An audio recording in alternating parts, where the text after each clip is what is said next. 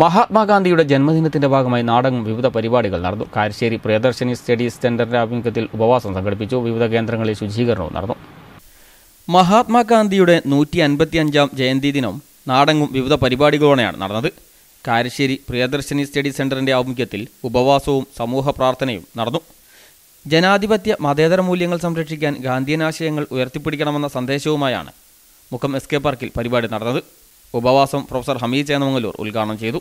Study centre president N K Abdurahman അധ്യക്ഷനായി. A P Muraleedharan master P C Abeeb Thampi Saman Chaluli B P Rasheed Jamshidolakara Chandran Kappiyadath Sreenivasan Karat K V Joseph തുടങ്ങിയവർ സംസാരിച്ചു. ഗാന്ധി ജയന്തി ദിനത്തിൽ കുറ്റിപ്പാല റെസിഡൻസിന്റെ നേതൃത്വത്തിൽ ശുചീകരണമാണ് നടന്നത്.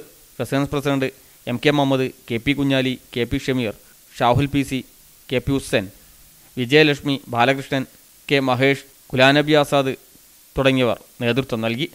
നഗരസഭ deputy chairperson advocate K P Chandini സത്യപ്രതിജ്ഞ ചൊല്ലിക്കൊടുത്തു. മാലിന്യമുക്ത നവകേരളത്തിനായി നാടിനൊപ്പം ഞാനും ഞാനും ആത്മാർത്ഥമായി ആത്മാർത്ഥമായി പ്രവർത്തിക്കുമെന്ന് പ്രവർത്തിക്കുമെന്ന് പ്രതിജ്ഞ ചെയ്യുന്നു. ഭംഗിപുരം റെസിഡൻസ് ഓർഗനൈസേഷൻ ആഭിമുഖ്യത്തിൽ ഗാന്ധി ദിനത്തിൽ ശുചീകരണം നടത്തി. നഗരസഭ deputy chairperson advocate K P Chandini സത്യപ്രതിജ്ഞ ചൊല്ലി.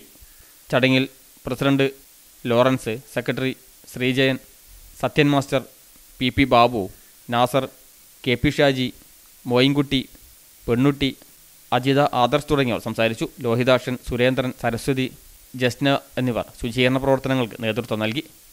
ന്യൂസ് ബ്യൂറോ സി പ്രാദേശിക വാർത്ത.